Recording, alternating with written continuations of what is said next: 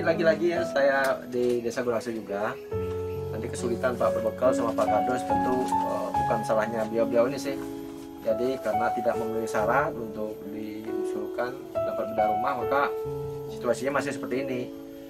Nah lagi eh, ini semakin memperkuat eh, keinginan saya untuk menyampaikan ide-ide sama Pak Gubernur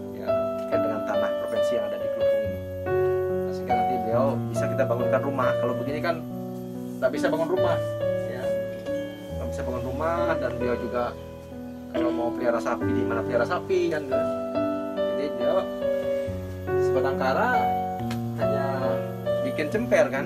Ya, dan sekarang ini kan bantuan BLT nah ke depan Pak Bakal ya ini harus dibantu dengan eh, dana desa. Dana alokasi desa. Jadi perjalanan kita hari ini mengingatkan kita waktu bedah desa kemarin ya. Jadi dulu saya sudah tahu cuma susahnya menangani pada saat